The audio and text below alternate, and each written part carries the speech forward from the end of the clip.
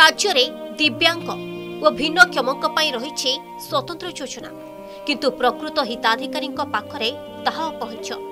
ଯାହାର ଜ୍ୱଳନ୍ତ ଉଦାହରଣ ଦେଖିବାକୁ ମିଳିଛି ଯାଜପୁର ଜିଲ୍ଲା ବିଞ୍ଝାରପୁର ବ୍ଲକ ଦାନ୍ତିସାହି ଗ୍ରାମରେ। ଗାଁର ସୁବାସ ଚନ୍ଦ୍ର ଜେନାଙ୍କ ପୁଅ ସୁବ୍ରତ ଜନ୍ମରୁ ଭିନ୍ନକ୍ଷମ। ଆଜି ପର୍ଯ୍ୟନ୍ତ ତାଙ୍କୁ କେବଳ ମାସିକ ଭତ୍ତା ଛଡ଼ା ଆଉ କିଛି ବି ସୁବିଧା ମିଳିନଥିବା ପରିବାର ଲୋକେ ଅଭିଯୋଗ କରିଛନ୍ତି।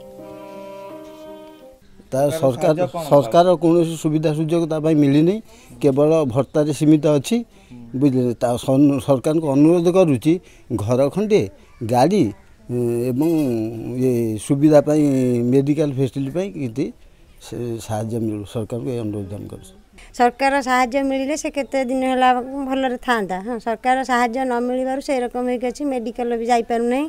ତା ପାଇଁ ବି ଘର ଖଣ୍ଡେ ମିଳୁନାହିଁ ତା ପାଇଁ ବି କୌଣସି ରାସନ ଚାଉଳ ମିଳୁନାହିଁ ହଁ ସେଥିପାଇଁ ଆମେ ବହୁତ ଦୁଃଖିତ। ସରକାରଙ୍କୁ ଅନୁରୋଧ କରୁଛୁ ହାତ ଯୋଡ଼ି କିନ୍ତୁ ତା ପାଇଁ କିଛି ସାହାଯ୍ୟ ମିଳୁ। ସାହାଯ୍ୟ ମିଳିଲେ ସେ ମେଡ଼ିକାଲରେ କି ଦେଖେଇ ପାରନ୍ତା କି ତା ପାଇଁ ସୁବିଧା ମିଳନ୍ତା। ତା ପାଇଁ କ'ଣ କିଏ କରିବ ଯେ ମା ବାପା ଅଛି ବୋଲି ତାକୁ ଟେକୁଛନ୍ତି। ଭିନ୍ନକ୍ଷମଙ୍କୁ ଯୋଜନାରେ ସାମିଲ ହେବା ପାଇଁ ସରକାରଙ୍କ ପକ୍ଷରୁ ଅନେକ ସ୍ୱତନ୍ତ୍ର ବ୍ୟବସ୍ଥା କରାଯାଇଛି। କିନ୍ତୁ ସୁବ୍ରତଙ୍କୁ ଆଜି ଯାଏ ଟ୍ରାଏ ସାଇକେଲଟିଏ ମଧ୍ୟ ମିଳିପାରିନଥିବା ଅଭିଯୋଗ କରିଛନ୍ତି ପରିବାର ଲୋକେ ସେହିପରି ସୁବ୍ରତଙ୍କ ପରିବାରକୁ ମୁଣ୍ଡ ଗୁଞ୍ଜିବାକୁ ଭଲ ଘରଟିଏ ନାହିଁ।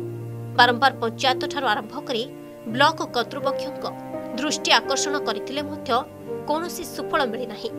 ଏନେଇ ଭେଞ୍ଝାରପୁର ଭିଡିଓଙ୍କୁ ପଚାରିବାରୁ ଘଟଣାର ଅନୁଧ୍ୟାନ କରାଯାଇ କାର୍ଯ୍ୟାନୁଷ୍ଠାନ ଗ୍ରହଣ କରାଯିବ ବୋଲି ସେ କହିଛନ୍ତି।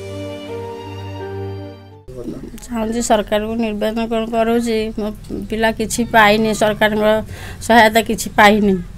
ପାଇନି ଖଣ୍ଡେ ଗାଡ଼ି ଆଉ ଖଣ୍ଡେ ଘର। ଏତିକି ଚାହୁଁଛି ସେ ପିଲା ପାଇଁ।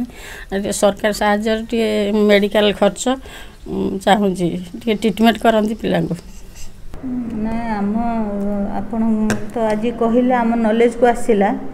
ଆଉ ସେ ଯେହେତୁ ହ୍ୟାଣ୍ଡିକ୍ୟାପ୍ ଅଛନ୍ତି ଆମେ ନିଶ୍ଚିତ ଭାବରେ ସରକାରଙ୍କର ଯାହା ସବୁ ସୁବିଧା ସୁଯୋଗ ରହିଛି ଆମେ ତାଙ୍କୁ ସବୁ ପ୍ରକାର ସୁବିଧା ସୁଯୋଗ ଦେବୁ।